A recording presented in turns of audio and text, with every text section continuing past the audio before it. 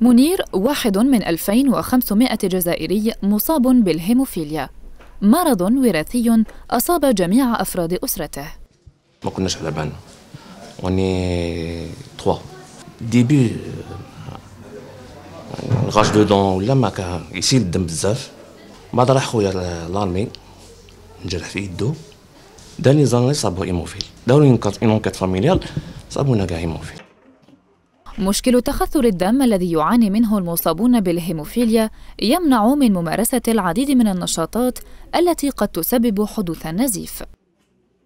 عرفت كي كان عندي هيموفيليا كنت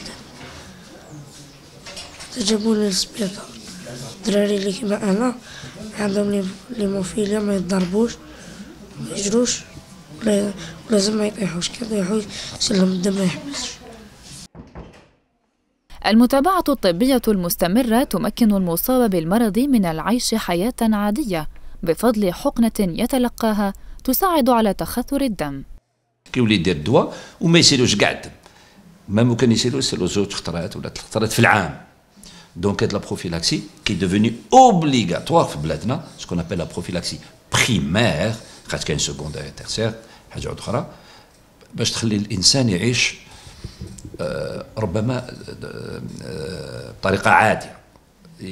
il a une vie pratiquement normale يروح للمسيد يخرج مع أصحابه يلعب. bon ما راحش يدير الكاراتي ولا la boxe évidemment mais ينجم يكون عنده حياة عادية.